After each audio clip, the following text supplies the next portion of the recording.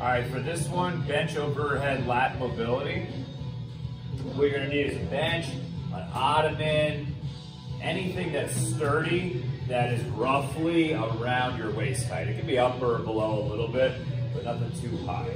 All right, so what you're gonna do is you're gonna place your elbows on the bench, the bottom portion of your triceps. I typically will go fist to fist like this, but you can definitely try keeping your hands apart. You could also try putting a broomstick in your hands, then your arms will run roughly parallel to even slightly outside. You need to try to experiment what gets you the best stretch. So from here, I'm gonna sink my butt back, trying to keep my spine nice and straight, my head neutral, so my chin is tucked. I'm looking straight at the ground below me.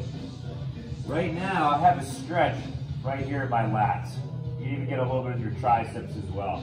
And then what we're gonna do here, depending on the time you have available, I want you to sit in that stretch position, just feeling the stretch, nasal breathing for 30 seconds at the minimum, upwards of two minutes if you have the time to put in for this.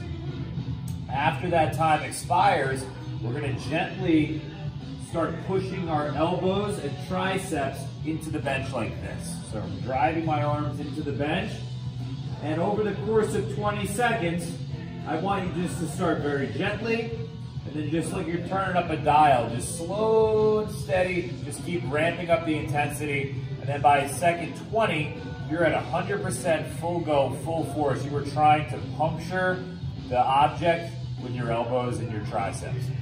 You're gonna do that for 10 seconds. That's working. You're gonna feel your lats working on that.